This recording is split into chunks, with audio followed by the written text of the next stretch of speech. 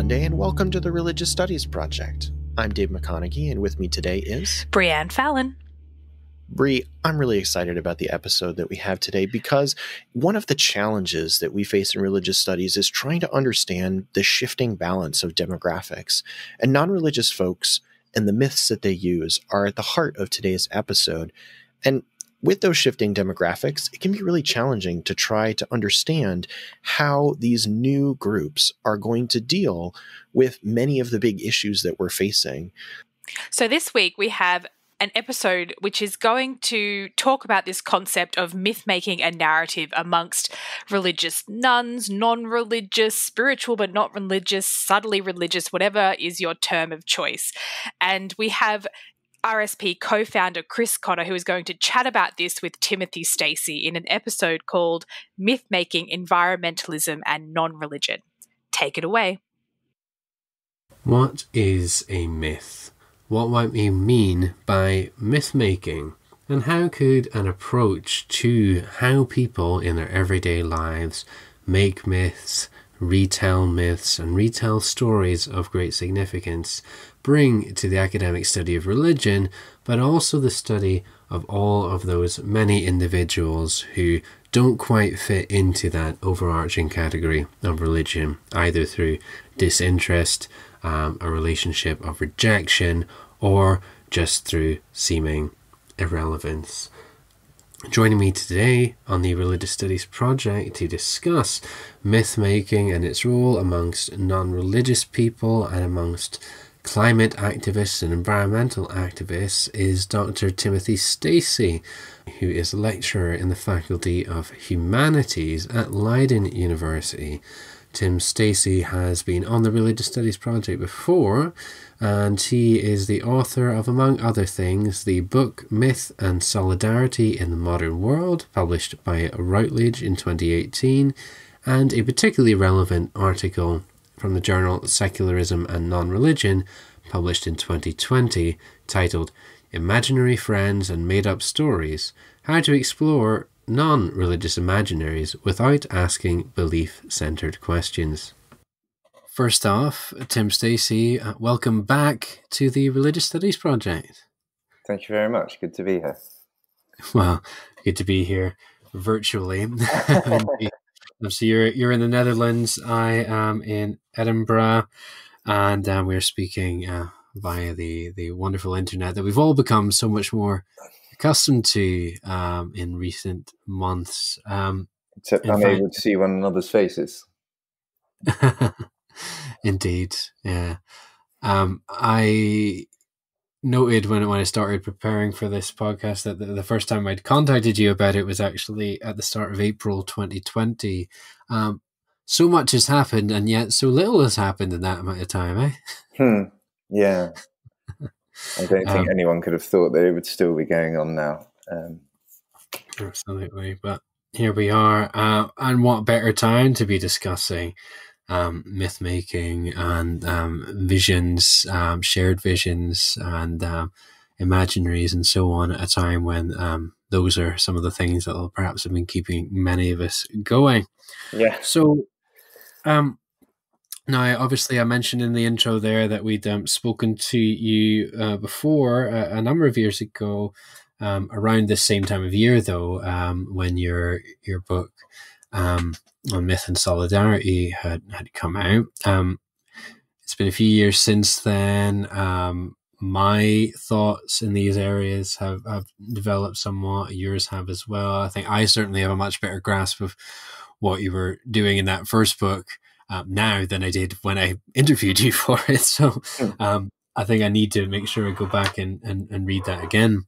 Um, so I'd probably get a lot more out of it now that my thinking is, I think, um, uh, develops uh, more in, in tandem um, in recent years. But um, before we get into the nitty gritty of myth making, I mean, you've been articulating this approach in publications that that I've seen that are to do with um, um, non-religion, uh, whatever that is. Um, mm. We'll get there later. Um, but and you're and you're articulating myth making as a as an alternative um, approach and perhaps a more productive approach than than some existing approaches out there. So if you maybe set the scene in terms of um, what's already out there in the academic study of religion slash non-religion that that you think um, you know perhaps could be approached better through through this myth making approach.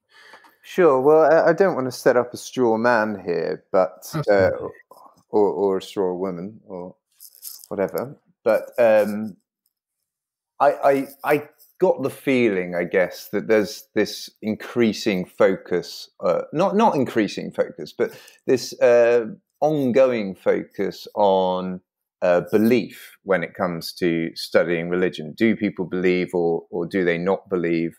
Uh, what do they believe in? And it kind of reifies uh, this strong distinction between the believer and the non believer, as if they have this very different kind of way of imagining the world.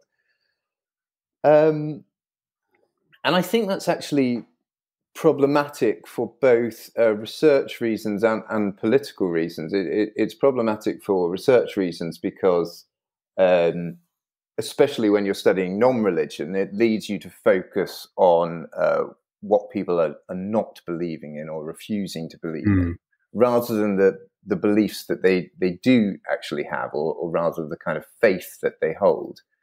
Um, for political purposes, I think it's problematic because when you reify, I'm noticing increasingly in the research I'm doing at the moment uh, into the environment and ecology, that reifying this strong distinction between uh, belief and not belief, uh, true and not true, real and not real, has in some sense contributed to our no longer treating animals, uh, plants, and the world as such, as as sort of persons. Mm. So um, my feeling is that by researching belief, you are actually contributing to that uh, distinction between uh, yeah. believing, not believing, true, not true. Um, yeah, and that sort of um, eh, perhaps uh, something that's been increasingly animating the, the contemporary world as well. Just that that sharp dichotomy, you know, you're you're in or you're out, you're with us, you're against us. Um, that um, polarizing, uh, perhaps. Um, perhaps a study of belief or unbelief uh, is inherently polarizing in what it does in a problematic mm. way. Yeah, um, and it's. Um, I, I, think it's also problematic, I guess, for the research reasons um, that I didn't mention. Is that my interest has really always been in. Um, how, how I, I always struggle with with the terminology, I guess, but um, the implicitly uh, or subtly non religious, not those for whom not being religious is a very important thing, but just people who happen to not be, um, say, yeah. Christian or, or Hindu or Muslim or whatever. And then in thinking through, okay, well, what are their worlds? How can we imagine them? And I just find that focusing on belief can actually get in the way of revealing mm. that. Absolutely. Um, let, us let's you know time time's already moving on, and I want to, to get into so myth making myth. Um, um, many people listening to this might might be thinking of myth as uh, you know uh, something in terms of like ancient Greek myths and so on, or, or as as things that are not true. That that's another um, common assumption with the word myth. Um, oh, what are you meaning here um, in your work by, by myth and myth making? You know, are you saying that, you know, I certainly, I don't, I don't engage in myth making. I'm a rational academic. I don't do myth. So, so tell me, Tim, what, what are we talking about? yeah, sure. So I kind of think of it on, on two levels. What, what is something, how does something get to be called a myth?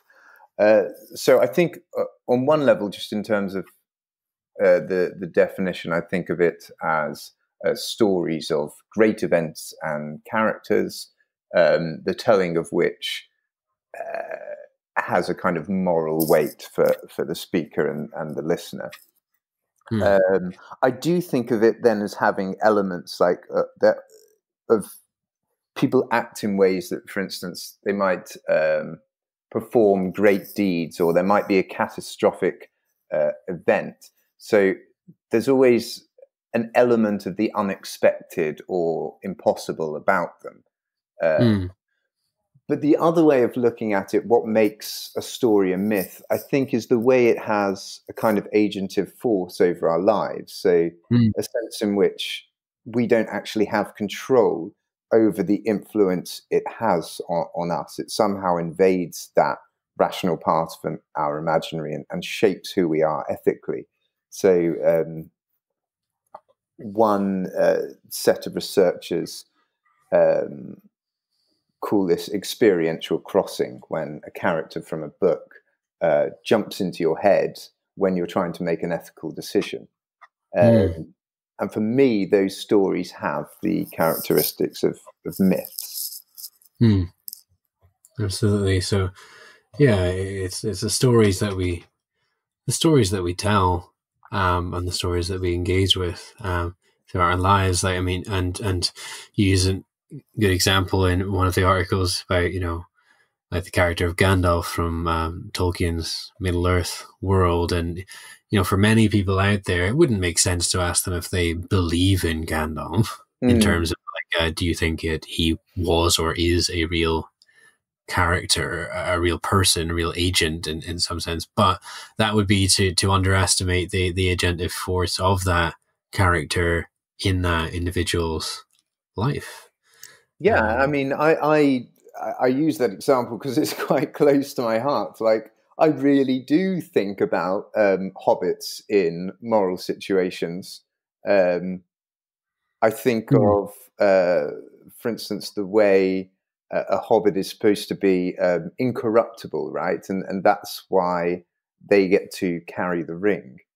Yeah. Um, and uh, yeah, I, I, I th- that will pop into my head in moments where I think, am I doing this for the money or for the fame or whatever? And yeah, I do think to myself, yeah, I don't know, how would it sounds almost odd when you say it out loud, but you know, how, how would Frodo respond in this situation? Um, but of course, I don't consider him to be a real person and, and it's it's not so much that it, it, yeah it's just kind of as you say it's odd it's almost irrelevant to ask me whether or not I believe in um, yeah Frodo. Absolutely, and it's the same for me with uh, Captain Picard. Man, it's absolutely the same. I mean, and, and it comes up. It, you know, one of your informants, the thing is saying um, to be asked, you know, is the Bible real? Is the Bible mm. true? Um, uh, but they were asking, you know, a more relevant question would be: Is it transformative? Um, and also, I'm going to quote another passage from from your um, imaginary friends article at you.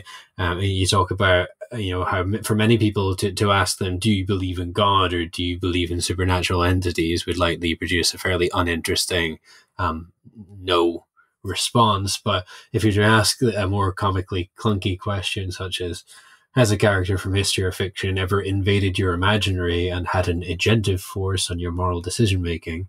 The answer could well be yes. I mean, provided that they could parse the question, of course. But this, is what, this, is what, we're driving at here. It's, it's that uh, even to ask people, do you believe in God? And if they say yes, again, that doesn't tell you, you know, you're not getting anything about the, the power of that belief uh, and, and, how that belief is narrated and storied throughout their, their existence. Mm.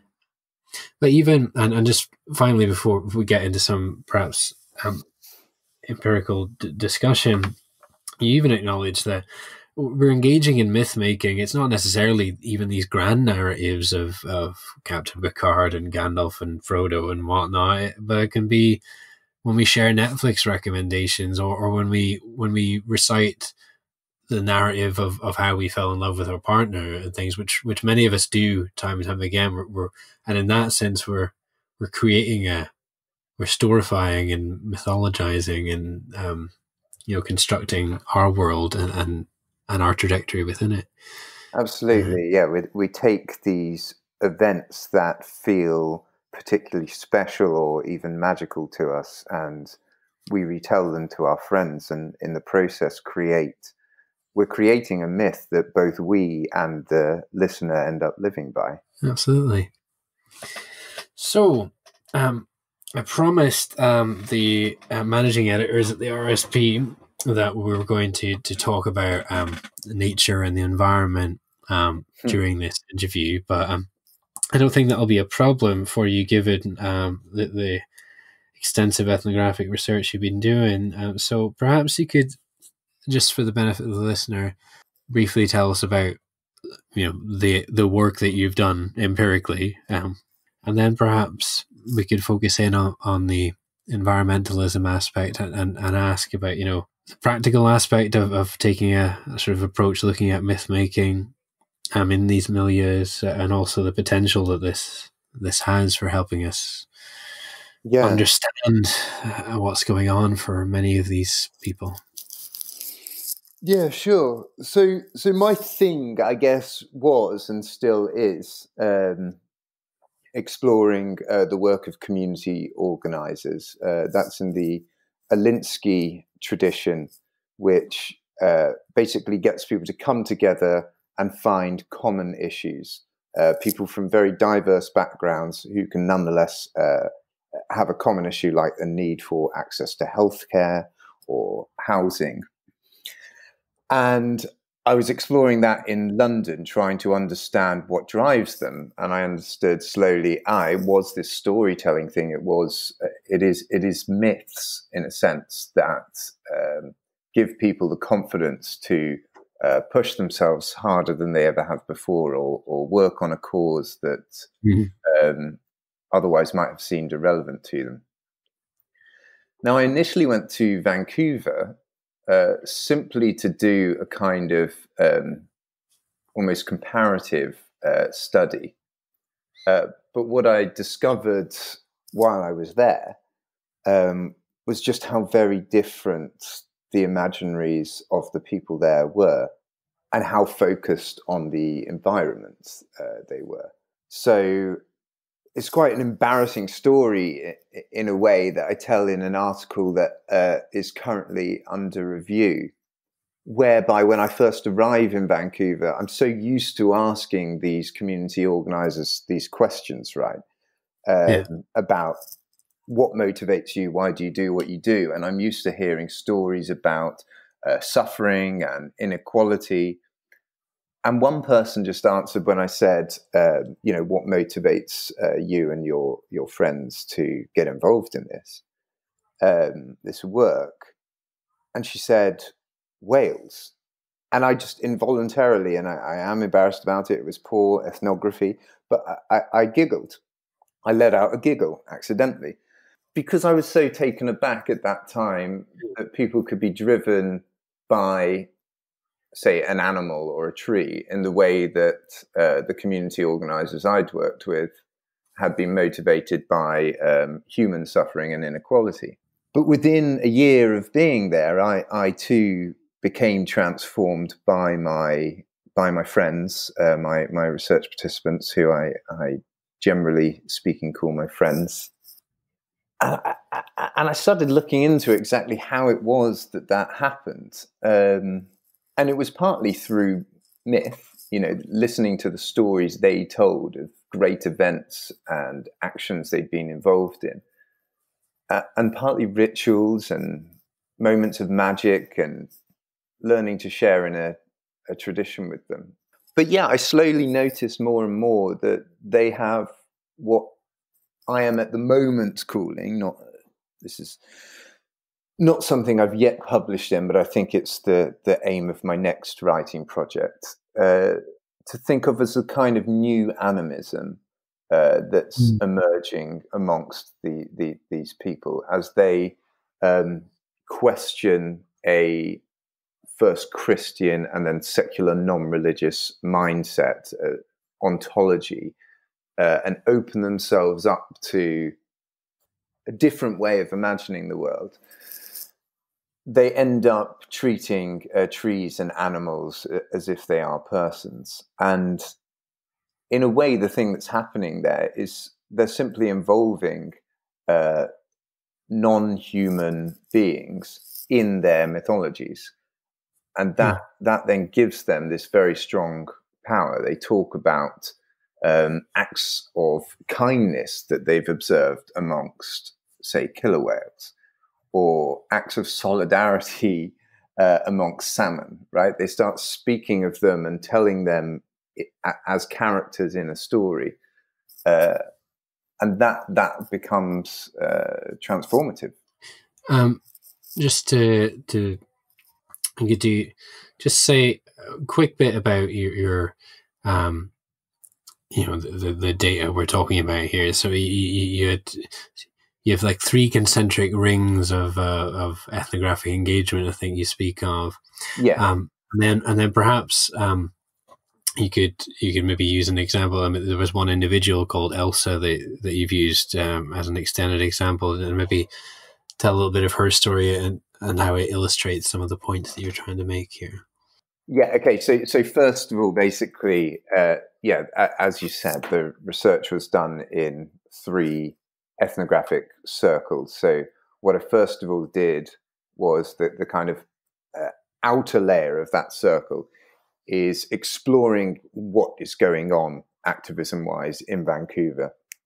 So that's looking at notice boards, checking Facebook and uh, Twitter and other social media, uh, looking at newspapers, going to different community events to try and find out well, what, what are people actually engaging with uh, here? Yeah. And I wanted to kind of just be led by that in my research, right? So, what, what do people do? What do they care about? and then you go to them and you say, "Hey, why do you do what you do? Why are you doing this?" And then you start to hear their stories unfold. Anyway, I'm yeah. getting ahead of myself. Uh, then the middle ethnographic uh, circle was an extended period of time with uh, Metro Vancouver Alliance, which is this Alinsky style community organization. And then the inner was what I call uh, my friends project, um, yeah.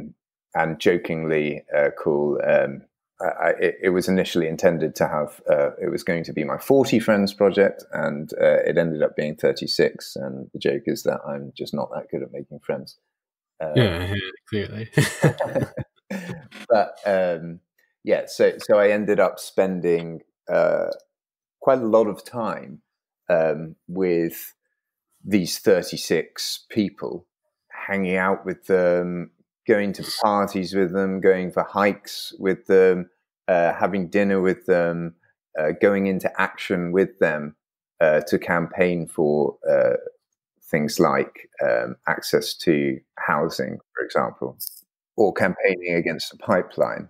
Um, yeah, and so um, most of the most of my findings really have ended up being much more about that final inner layer that telling the stories of these few people that I ended up hanging out with and spending a great yeah. deal of time with as they um, struggle with their ideas of what's real and what's not real, what's important and what's not important, um, and how can I um, build enough energy to fight um, these seemingly impossible fights, um, such as against um, an oil pipeline.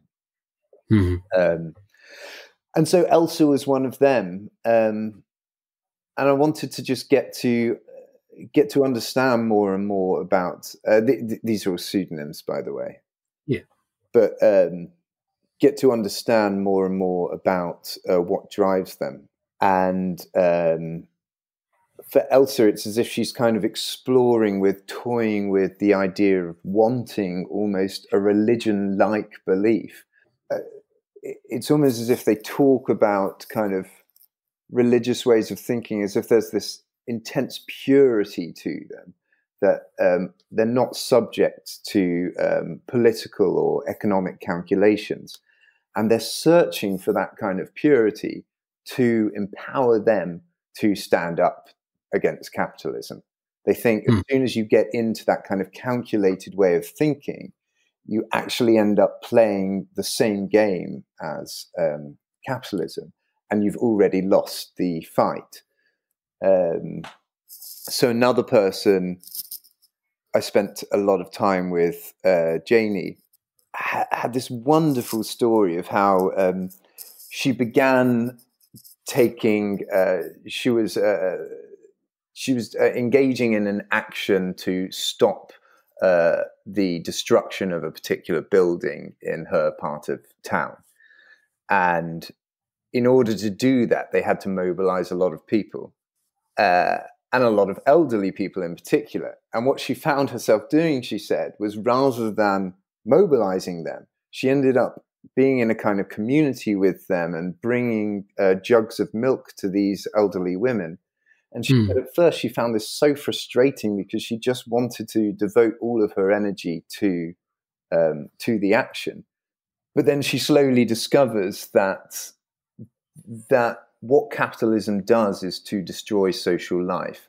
And so by engaging socially with these elderly women, she was being um, kind of anti-capitalist. And um, what I'm focusing on is all these different stories that the way that people imagine the world, how they how they're developing uh, kind of alternative visions that can empower them to overcome capitalism, essentially. Yeah, absolutely.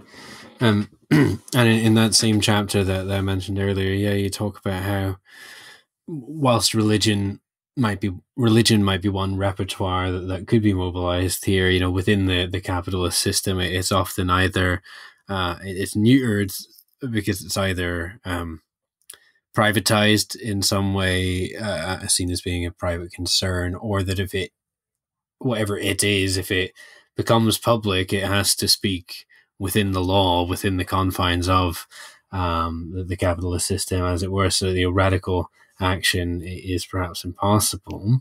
Well, absolutely. And that, that's kind of what I was saying in that chapter. I think that's perfectly demonstrated by the fact that uh, one judge was suggesting that both capitalism and communism could be uh, protected as beliefs in law uh, and therefore used as justifications for certain actions. But the only world in which that's possible is if it's a completely politically neutered belief. Uh, yeah, you, you, you can't you can't uh, give equal protection to two completely opposed uh, ideologies unless uh, the condition of so doing is that they don't actually have any political bite to them. Yeah, absolutely. And then and then you also speak about how um, a problem for for say stances like environmentalism, whatever that is, or or veganism, if they become if they go down the route of becoming systematized and articulated, then they can themselves become sort of um, captured and neutered by that very capitalist system. Like you used the example of um, of, of Tim Nicholson as a, and then also of Extinction Rebellion and, and how the, the differences in treatment in those cases. Well, that will be the most interesting thing, right? When when people, if people do ever use environmentalist belief as a reason in court for having, say, blocked a bridge. I'd be fascinated to see um, whether that could pass. Yeah, because um, sorry for context, uh, was it Tim Nicholson was was able to? Um, did he refuse to fly for for work and cited environmentalist concerns, and that was deemed okay? Yeah, um, whereas if one were to use environmentalist concerns and say, well, that's why I engaged in this civil disobedience, um, because I was acting on my belief or my worldview or whatever, yes, it would be met with something different. Because as we know, the state um, is generally fine with tolerating difference as long as it doesn't actually challenge the status of the state yeah. itself. Um, but them, you know we're talking on and we're talking around and around the, the, the, this this topic but i think where where you get to um, um towards the end of, of both the main articles that i'm thinking of is is is the potential of of a, an approach looking at, at the myth making and, and, the imaginaries that are are being inhabited uh, the potential that it has both for scholarly study and then for maybe mobilizing and building solidarity. Mm. So if we maybe take each of those in turn, I mean, what does, um, let's say, the study of religion slash non religion and everything that we might vaguely consider in this area, what, what, does that have to, to gain then from this this approach? Um, yeah, well, well, I think uh, the main lesson it can learn is just how um, rich, in a sense, the data is once we start focusing on the the stories people tell as uh, demonstrative of uh, their imaginaries. Hmm. Um, mm. That there's just so much, so much there in in the way they tell a story, in uh, what the story is actually about, what it influences them to do, that can really help us to um, understand in much more profound ways uh, how people are motivated. How does one actually do this? So I know that you you, have perhaps gained access to a lot of these stories and significant stories because of the the amount of time that you're able to spend with these individuals mm. and over an extended period of time. But uh, you know, I know that you you ask questions as well, like you know, like what what what's what makes you cry and that sort of thing. But you know, how how might uh, how might someone who doesn't have the luxury of um, spending um, months um, hanging out with people um, maybe get into these imaginaries? Well, if you've also got time to interview people, I don't know how much time this this yeah. person who doesn't have time for ethnography has, um, but but I think I think it comes out uh, a lot quite quickly. You simply ask somebody, "What do you do?" and then you say, "Why do you do that?" and they start telling you stories.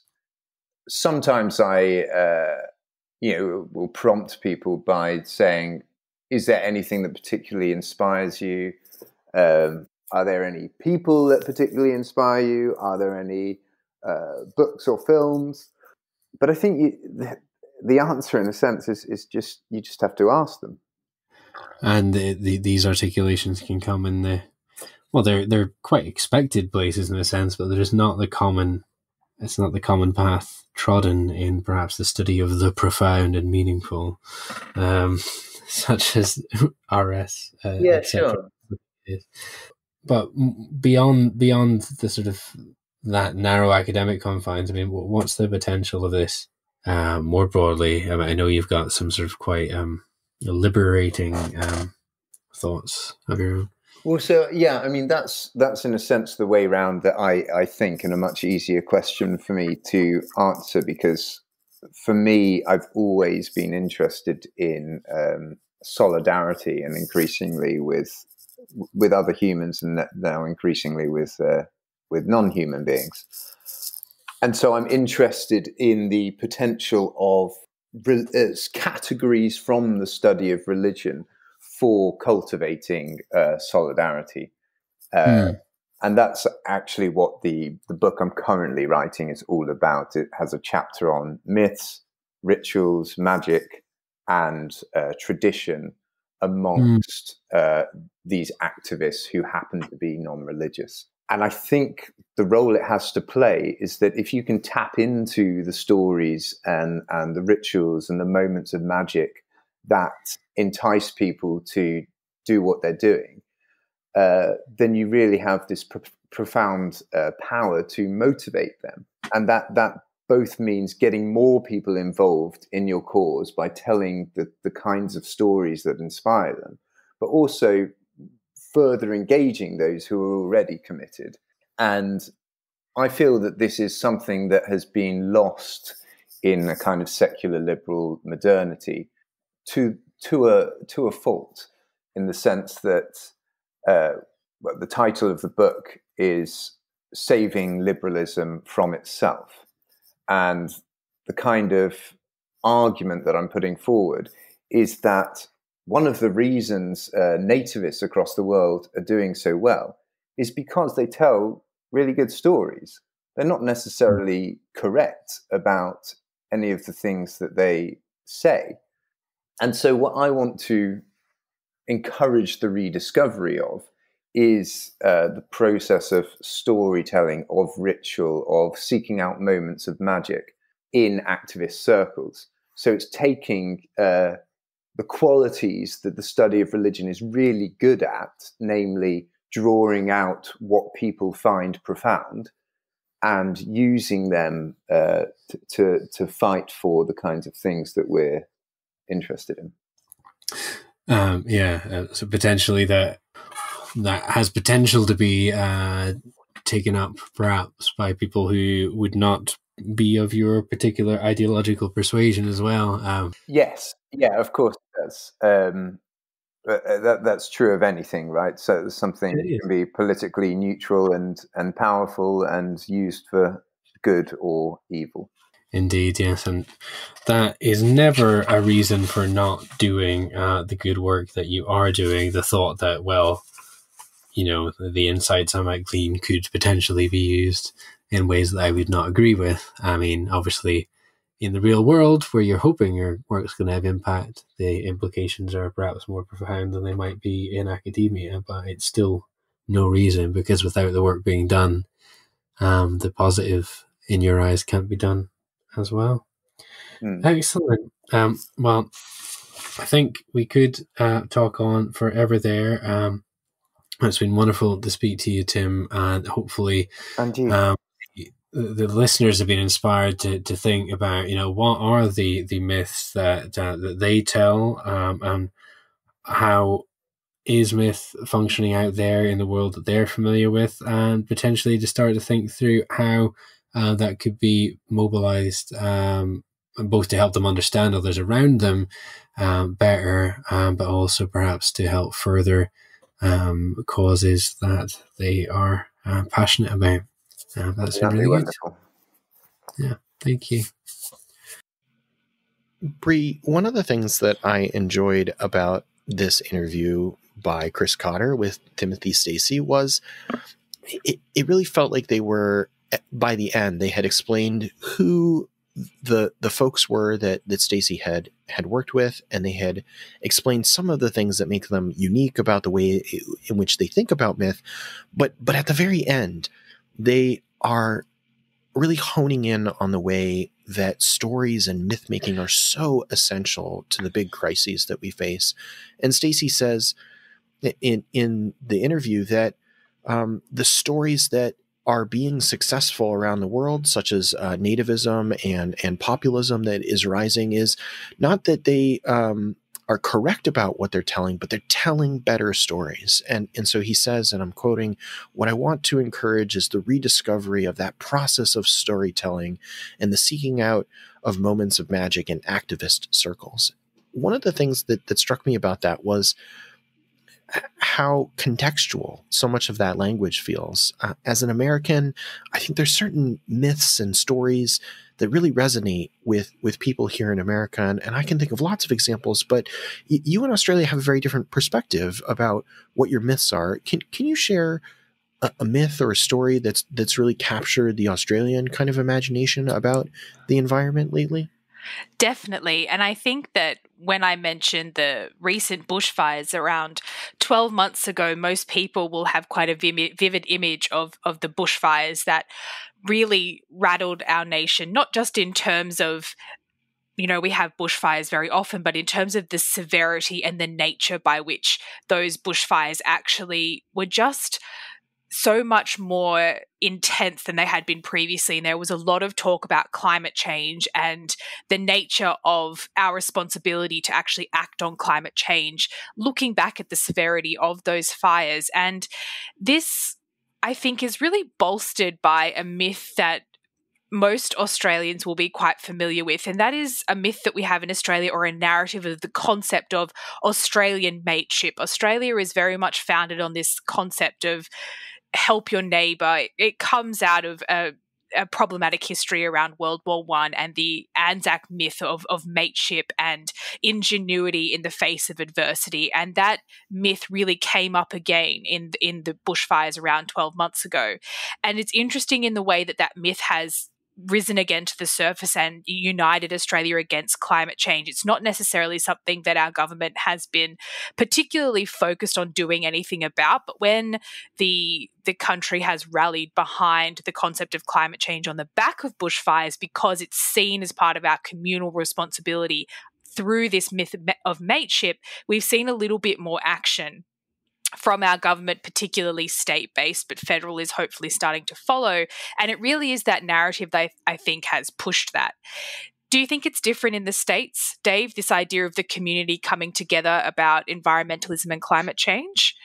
Yeah, uh, unfortunately, I do think it's a little different here in America. I wish that that we had a, a, stronger communitarian kind of sense in America, but but we don't because the strain of individualism that is so prominent here in America is really a, a very personal uh, individualism. What can you do personally? What is your responsibility? How can you make a difference?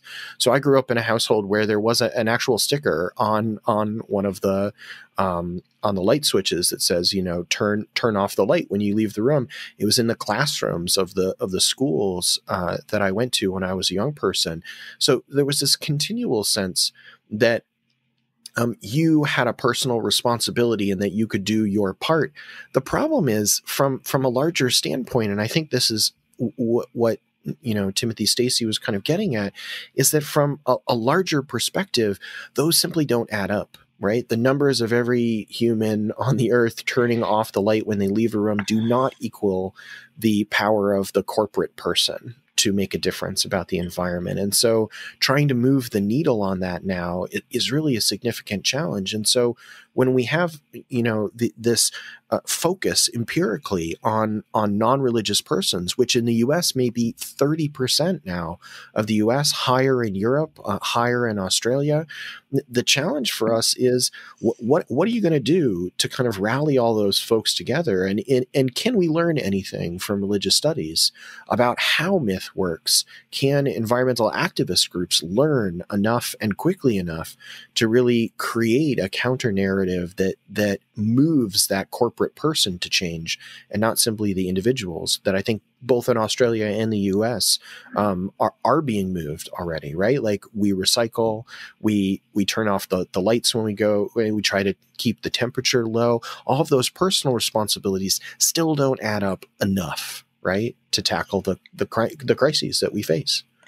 That's right. And before we finish up, I just want to mention a, a television show in Australia that I think is really trying to do that, trying to sort of tackle more the corporate side of climate change through the concept of narrative. And the TV show that I'm thinking of was Craig Reucassel's War on Waste. It became very popular in Australia. It ran in 27 and 2018, and it kind of melded together the concept of you as an individual. Here's a reminder of how you can recycle. Here's the updates in recycling. But Craig did this really wonderful thing where he made a giant ball out of plastic bags and he was rolling it through the streets of Melbourne into the offices of big corporates. So they really had to look at what their decisions were going to be about plastic bags. And his encouragement was not, oh, look at what I'm doing with the plastic bags. It was, what are you going to do to make corporates actually question what they're doing around plastic bags?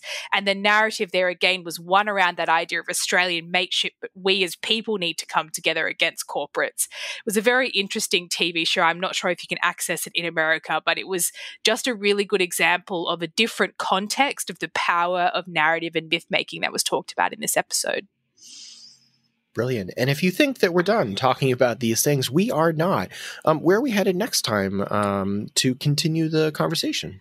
Next week, we have an episode that you recorded together with Lauren Osborne, and you're chatting with Anna Gade about Muslim environmentalism. So I'm really looking forward to that one. But until then, all that's left to say is thanks, thanks for, listening. listening. The RSP is sponsored by the BASR, NAASR, and the IAHR and is produced by the Religious Studies Project Association, a Scottish charitable incorporated organisation. Find out more at religiousstudiesproject.com. Brought to you by editors Breann Fallon and David McConeghy, and founding editors Chris Cotter, that's me, and David Robertson, that's the other guy. Our features are edited by Rebecca Barrett Fox and Lauren Osborne, and our Opportunities Digest by Ella Bach. Audio editing by Alex Matthews, podcast transcription by Andy Alexander and Savannah Finver, and social media managed by Ray Radford and Candice Mixon. Don't forget you can support the project by using our Amazon affiliate links or donating at patreon.com backslash projectrs. And you can find us on Facebook, Twitter, YouTube, iTunes, and other portals. Thanks for listening.